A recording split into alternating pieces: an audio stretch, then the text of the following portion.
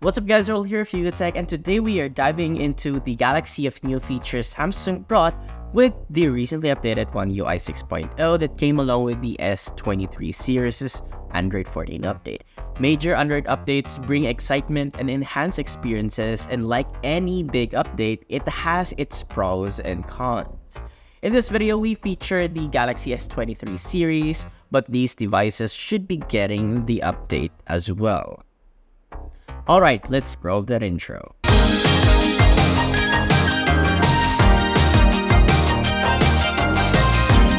Okay, so the first update comes in the form of a cleaner and simpler look with the simplified app icon labels, now limited to only a single line. Apps on the home screen looks cleaner, I guess. The app icons themselves could be a little bit bigger, but for sure, they are a bit rounder as well. The default font also gets an upgrade with the introduction of One UI Sans, which is, in our opinion, isn't too bad unless you love that old default one. Either way, fonts can easily be changed in the settings menu.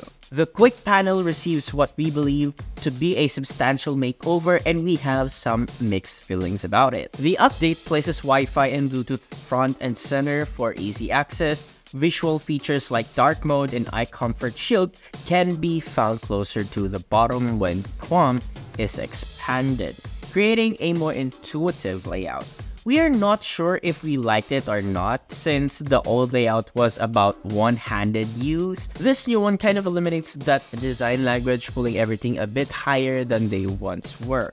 Regardless, it does look as clean in our opinion and Samsung could just be showing off some new paint. Unfortunately, we can't change it back to the old layout.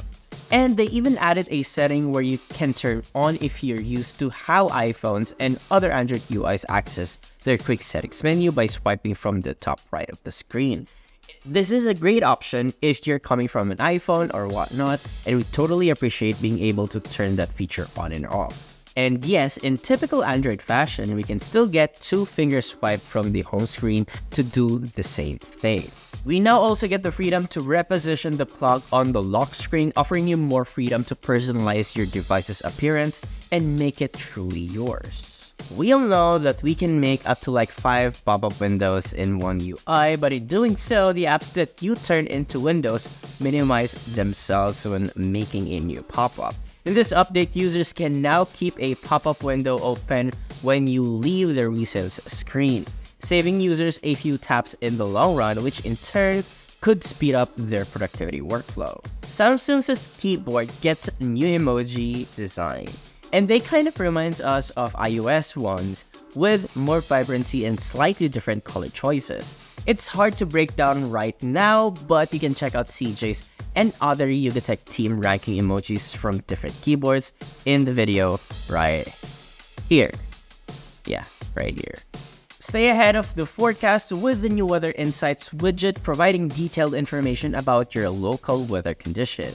The weather app itself gets an update with more data and interactive map view and updated visuals and animations. The camera experience reaches new heights with the new custom camera widgets, more watermark alignment options, and quick access to resolution settings. Enjoy pop-ups for video size options and keep your pictures perfectly level and compositions easier framed with the new grid lines that feature a leveler in the middle. We even get advanced intelligence features that allows users to set the intensity of scene optimizer allowing for faster image processing when taking a shot. Now, similar to iOS, we can now clip images as stickers and enjoy an enhanced story view and embrace a two-handed drag and drop experience in the gallery. We actually like this a lot.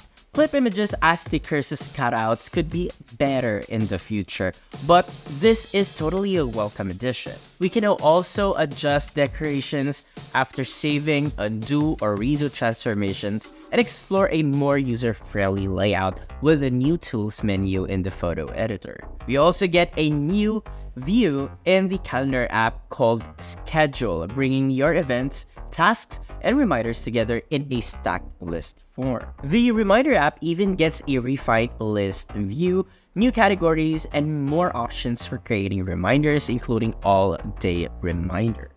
The Samsung Internet Browser now allows users to play videos in the background and experience an enhanced tab list for a larger screens, offering more streamlined browsing experience. In the My Files Manager, you can now receive recommendation cards to free up storage space and get insights into which apps are consuming the most storage. Experience a smarter airplane mode. Once users turn on Wi-Fi or Bluetooth while airplane mode is on, your Galaxy now remembers the last setting. The next time you use airplane mode, Wi-Fi or Bluetooth will remain on instead of turning off.